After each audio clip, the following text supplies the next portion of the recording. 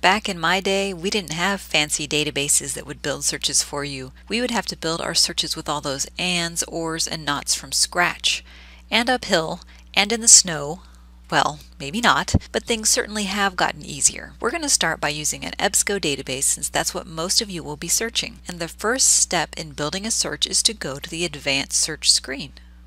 Look, it's our friends, and, or, and not. And is the default and that's how I like to keep it. We'll just be writing our ors out ourselves and we'll see that in a second. So my example topic is going to be on how animals can be used as treatment for those suffering from anxiety. This is a psychological topic, so I'm in the database PsycInfo, which focuses on psychology and counseling and related issues. So we're going to look at combining searches by doing a basic search first. We're just going to include one word or phrase for each concept. So my basic concepts are animal therapy and anxiety. The different concepts go on different lines and we're combining them with the word and. When we use AND, we're telling the database to search for articles that include both concepts, both animal therapy and anxiety. Alright, so this search did find some things, and maybe some of them are relevant, but at least the first few are not. Let's see, two and three focus on rats. The fourth one, I don't have any idea what that means at all. The fifth one, sort of relevant, but this is not a great search. Let's try this again by adding additional terms to represent our concept. Remember when I had you come up with as many synonyms for your topic as you could in your research notebook? We're going to try and use these now. We're going to combine all of the words that represent one concept with the Boolean operator OR. OR will make our search bigger. So my first concept here is animal therapy. I'm going to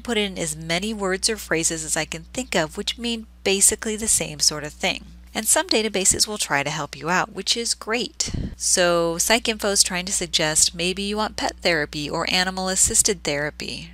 And I think those are all great ideas. So I'm going to go ahead and accept their suggestion. I am going to change a couple of things around. The first thing I'm going to do is put each phrase in quotes. This will force the database to actually search the phrase as a phrase instead of just looking for the word animal or the word therapy. Some databases do this automatically, but I like to just to make sure by putting it in quotes. Another thing that I change is that I like to put my ors, my ands, or my nots into all caps. It's not essential, but it helps me keep the search straight in my mind, which is always helpful. All right, so I have the different synonyms for the first concept on the top line. Now I need to look at additional terms for anxiety. You don't always have to add additional terms, but in this search I have found that anxiety seems to be limiting, so I might want to add the additional term depression. The database is trying to suggest additional terms.